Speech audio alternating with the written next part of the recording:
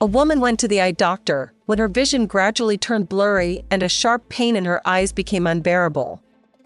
Dr. Kurteeva said the woman had been wearing contact lenses for 30 years and believes it was a case of extreme oversight.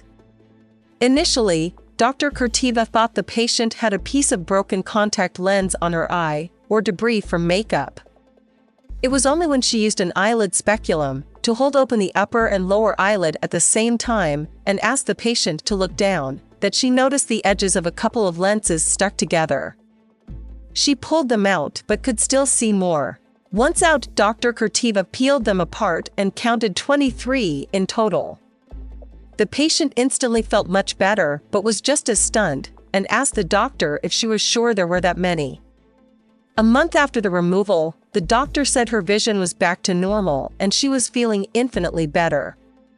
The eye doctor said she doesn't know how the patient forgot to remove the lenses for all that time, but it might be due to the fact she has been wearing lenses for 30 years.